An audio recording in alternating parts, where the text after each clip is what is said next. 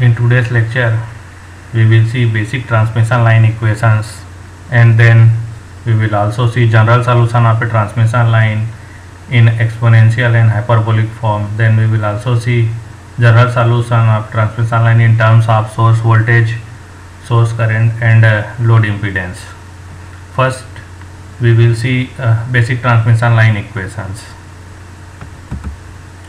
This uh, equation number 1 and equation 2 are standard differential equation of a transmission line. It is a second order uh, differential equation. These two are known as a transmission line differential equation. This we will prove. For that we take a small section of transmission line whose length is dx. This is a transmission line. This is a conductor 1, this is conductor 2. So at a distance of x from source n we take a differential length dx. And suppose at a distance x the voltage is v and the current at this point is i. And uh, after traveling distance x plus dx or after dx volt current i am getting here is i plus di and voltage i am getting across this is v plus dv these voltages and these voltages will not be equal because here r and uh, l will be there and uh, this current and this current will not be there because here you will find the value of G and C. So current will be dropped and as well as voltage will be dropped here. So we consider first voltage drop across PQ so for that you see that V minus V plus dV the voltage drop across PQ will be V minus V plus dV that will be equal to the uh, resistance and inductance जो करेगा drop उसके कारण से so will write here R plus J omega L into I we are using phasor notation for writing inductance value and capacitance value. So here uh, V minus V plus dV is equal to I R plus j omega L into dx uh, because R and L are expressed on the basis of per unit length ohm per meter and Henry per meter. So for this length dx total uh, resistance will be rdx and total inductance will be ldx so we have written here dx similarly when we calculate current drop we will write i minus i plus di that is equal to voltage at multiplied by that is admittance. So that is uh, here you will get g that is plus 1 1 upon j omega c. So that is j omega c dx. Again g and c are defined for unit length. So for total length of dx we will get some conductance g dx and uh, this part uh, susceptance we will get j omega c dx.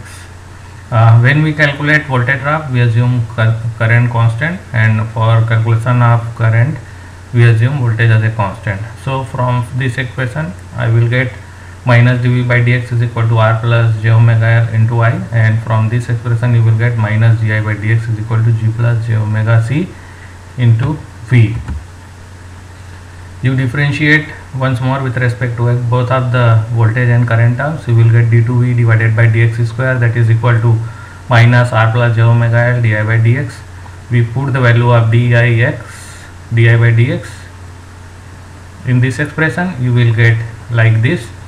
So d2v divided by dx square that is equal to p square v where p is the complex propagation constant we call. So p is the under root of r plus j omega l into g plus j omega c where i is the complex propagation constant and its unit is uh, meter inverse that is per meter. It is a complex quantity. Uh, similarly uh, when uh, we differentiate current term once more you will get this term. And when we put the value of dv by dx from previous expression you will get differential equation in terms of current. So d2i divided by dx square that is equal to p square i. Again p will be under root of this uh, because this is a complex quantity this can be written as alpha plus j beta here alpha we define as a attenuation constant uh, its unit is uh, Neper per meter and beta is a phase constant that is defined as uh, radian per meter. What happens whenever any uh, uh, wave travels from one point to another, it is animated as well as phase shifted. So that is represented by this P complex propagation constant. How the wave uh, moves in that particular medium, it will be attenuated. So it, attenuation will be given by this alpha, and it will be phase shifted. Wave will be phase shifted. That will be given by the phase constant beta radian per meter. So you uh, remember that standard differential equation for voltage is this and standard differential equation for current is this and remember this formula for numerical purpose. This is a complex propagation constant in uh, here I am writing here as a P. Some books write this as a gamma gamma. Then we see the general solution of a transmission line in exponential as well as in hyperbolic form the solution of differential equation that is 1 d2v divided by dx square that is equal to p square v can be written as this that is vx is equal to a into e to the power minus px plus b to the power plus px. Similarly the differential equation of current which solution can be written like this where a b c and d are constant where p is alpha plus j beta x. So this minus part represent the voltage traveling from source to lead end and this part shows the voltage traveling from load to source end. Similarly this represent uh, current from source to load and this represent load to source. Load to source. Uh, this we will get because uh, not all the power or not all the voltage or currents are absorbed by the load. So reflections take place. So we we can say that this is the incident term this is the reflected term this is incident term and this is the reflected term. Reflection from load reflection from load incidence from source to load incidence from source to load.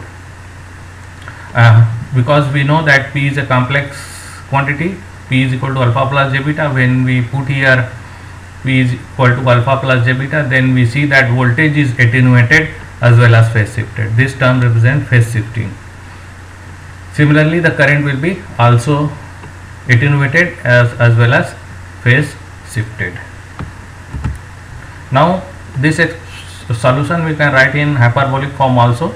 Uh, we write here Vx is equal to a to the power minus px plus b to the power plus px. We differentiate it dv by dx. You will get this expression.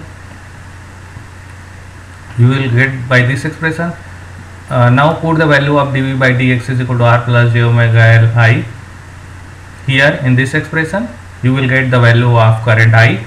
I is equal to P upon R plus j omega L A to the power minus Px B to the power plus Ps where P is this. When you put the value of P here, you will get this expression is here. Now I am defining this characteristic impedance of a transmission line. This is another important parameter of a transmission line. I will define it later for uh, infinite transmission line. That this is the characteristic impedance that under root of R plus j omega L upon G plus j omega C. You have to remember this for numerical purpose so we can write at a distance of x current will be 1 upon z naught. Z naught is the characteristic impedance a to the power minus px minus b to the power plus px.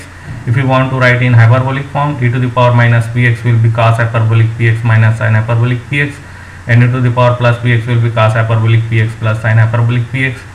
So here we write so voltage you will get like this and current you will get like this in hyperbolic form. So V is equal to A plus B cos hyperbolic Px minus A minus B sin hyperbolic Px and I is equal to I upon uh, 1 upon Z naught A minus B cos hyperbolic Px A plus B sin hyperbolic. So expression 3 and 4 uh, gives the value of voltage at any point and this is the current at any point in hyperbolic form.